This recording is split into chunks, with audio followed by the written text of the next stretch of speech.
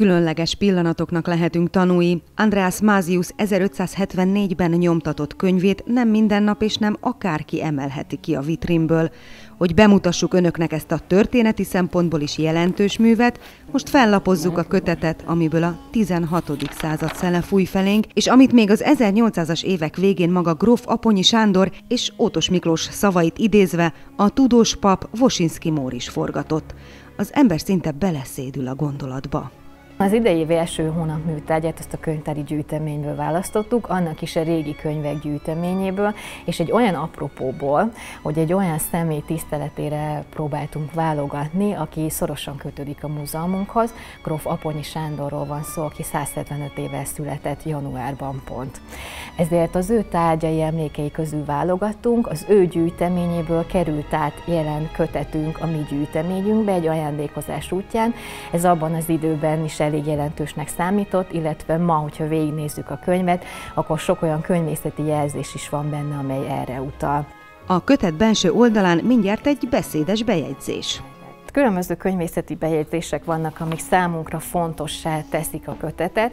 Mindjárt a legelső itt oldalt, ez a legrégebbi leltározási jelzet a könyvben, ez valószínűleg Vosinski korabeli lehet. A betűk formájából, ugye a motivumból is tudjuk ezt, hogy abban az időben ezt használták. Az első oldalon találunk egy ex libris ami ugye jelzi a könyvnek az akkori tulajdonosát. Ez egy francia bejegyzés, francia nyelvű személy lehetett, ebből is gondoljuk, hogy ez Aponyi még Franciaországban vásárolhatta ezt a kötetet. Egy kicsit tovább megyünk, akkor a számunkra az egyik legfontosabb kézzel írott bejegyzésük Gróf Aponyi Sándor ajándéka, tehát ezt Aponyi a saját könyvtárából ajándékozta Vosinskinek és a, a múzeumnak a megalapításakor. Aztán találhatunk benne egy ceruzás kézi bejegyzést, 1895. január 23-ai bejegyzés ez, valószínűleg ez a bejegyzés is aponyi korabeli betűk formájából, a bejegyzésekből. A címlap is érdekes számunkra, hiszen találunk több posztesztori bejegyzést is, ugye tulajdonosi bejegyzéseket, megjegyzéseket, számokat, Tolna Vármegyei Múzeum pecsétjét 1896-ból, és amit középen nagyon szépen illusztrált, ez pedig egy nyomdász jelvény, Christoph Plantin, egy híres antwerpeni nyomdász nyomdájából került ki a kötet. Ezt mutatja ugye a motívum is, ez abban az időben jellemző volt, hogy az alkotó kéz a felhőkön átnyúlva egy körzővel ugye megalkotja a mi világunkat. És benne van a szalagon pedig a nyomdásznak a jelmondata, Laboret Konstancia, ez ugye a munka és álhatatosság volt, ez volt Plantininek a jelmondata. A szerző András Mázius 1573-ban halt meg, a kötete viszont csak halála után 1574-ben jelenhetett meg az Antwerpeni nyomdász jóvoltából. A könyvet Aponyi Sándor feltehetően még Franciaországban vásárolta meg. Gróf Aponyi Sándor 1844-ben Párizsban született, és 1925-ben a Tolna megyei lengyel községben halt meg. Ez számunkra is jelentős, hiszen itt, lengyelben ismerkedett meg az akkori fiatal plébánossal Vosinski Morra. Az ő közbenjárásával és segítségével ásatásokat végzett ugye Aponyi birtokán, és kettejük gyűjteményének felajánlásából született meg 1895-ben Tolnavár megye múzeuma. Illetve számunkra még az is érdekes, hogy az ásatások mellett a lenyeli birtokon egy elég jelentős könyvtára is volt Aponyinak, hiszen ő, ő neves diplomata, műgyűjtő és lelkes könyvgyűjtő is volt. A jelen pillanatban itt lévő hónap műtárgy és az ő gyűjteményéből származik. Elég jelentős és ritka kötetek is voltak az ő könyvtárában, és mint mondtam, hogy Párizsban született, sokáig ott is élt, csak később édesapja halál után költözött vissza Lengyelre, ezért Párizsból, Londonból és Európa több városából is gyűjtött be köteteket. Ez a könyv is jelzi az Ex Librisben, hogy ez is valószínűleg Franciaországból származott. Nem csak gyűjtötte ezeket a köteteket, hanem le is írta, bibliográfiai leírásokat készített a könyvekről, és katalógust is, ez is elég jelentős.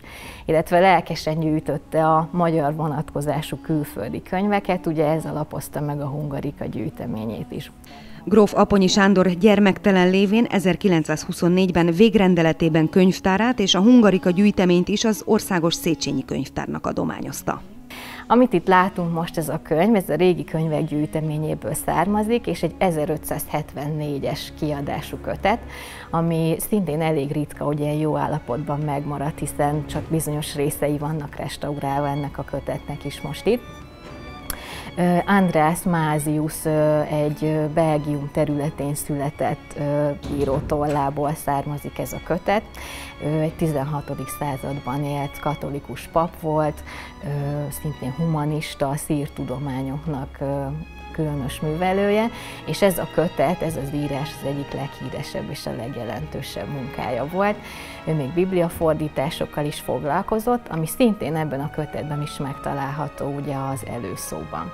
Azért is érdekes még ez a kötet, hiszen több nyelven íródott, ez is ugye ritka, hogy héber és görög nyelven írja le a történetet, ehhez fűződnek a latin nyelvű magyarázatok, maga a főhős vagy a történet az az Ószövetségi Józsué vezér személye köré fűződik, aki ugye Mózes utódjaként a népét átvezette a Jordánon és meghódította Kánaánt. Az ő személyéről is ír, illetve magyarázatokkal, biblia fordításokkal, biblia értelmezési gondolatokkal is alátámasztja a kötetet. Maga a kötet csak az író halála után jelenhetett meg, és elég nagy vitát is gerjesztett, hiszen elég szabad magyarázatokat is találunk ebben a műben. Vitákat ma már talán nem gerjeszt a kötet, csodálatot és valamiféle szerény rajongást és büszkeséget azonban ébreszt az emberben, hiszen a könyv nem csak megírt történetét meséli el, hanem beszél nekünk Tolna megye nagyjairól, azokról a tudós és elkötelezett humanistákról, akik a tudományok, a művészetek és a világ rendjének egyfajta magasabb, szellemi valóságát próbálták megteremteni, felhasználva önmagukat, tudásukat, idejüket, hatalmukat és pénzüket. Hát nem ezt jelenti igaz magyarnak lenni?